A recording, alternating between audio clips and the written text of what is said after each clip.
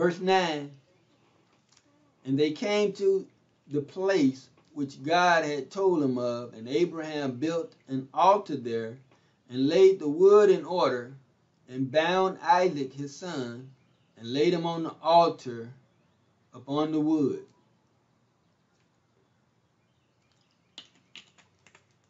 So they came to the place. It's always a place. Yeshua always found this place to worship the Garden of Gethsemane. And so they came to this place which the Lord Yah had told Abraham, go here. So Abraham went there and he, he, he, he prepared the altar.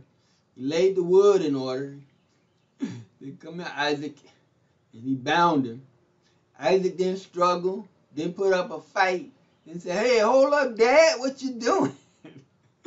Father, what are you doing? He didn't question it.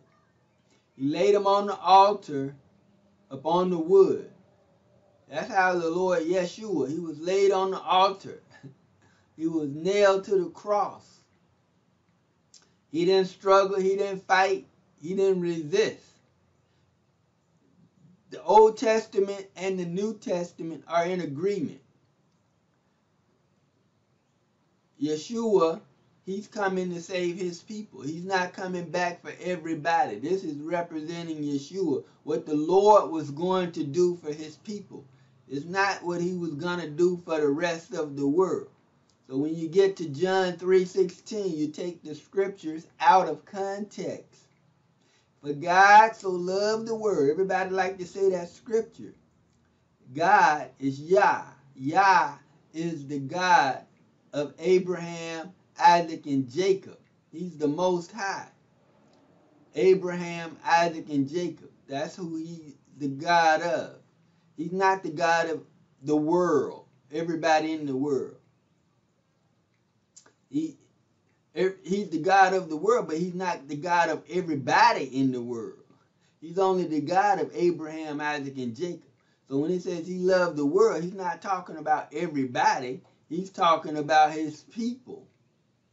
But people don't understand that. They take the scriptures out of context and they try to make it fit their cup of tea if he's talking about everybody else in the world, it's taking the scriptures out of context because that's not what the scripture says in the Old Testament.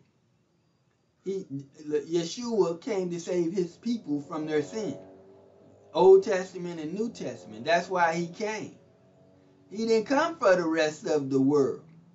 What about the Gentiles? Go back, restudy, research the scriptures because you're taking the scriptures out of context. You don't know who they're talking about when they say Gentile. You think they're talking about everybody else.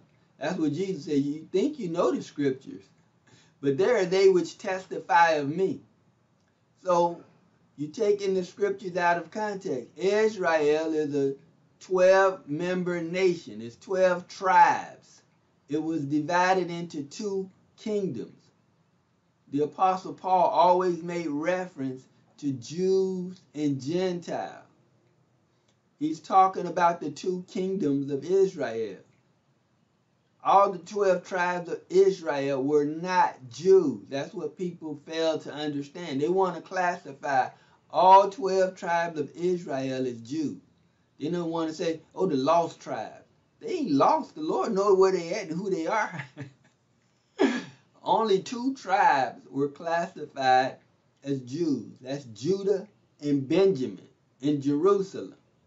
The rest of the ten tribes were not classified as Jews. They were Israel or Ephraim. But when they sinned, the Lord scattered them among the Japhet Gentiles. And they were no longer referred to as Israel or Ephraim. They were referred to as Gentiles and heathens and Greeks, in uncircumcised, uncircumcision. And so when Paul made reference to Jews and Greeks or Jews and Gentiles, he's talking about the two kingdoms of Israel. That's why it's important to understand the context of Scripture and keep the Scriptures in context.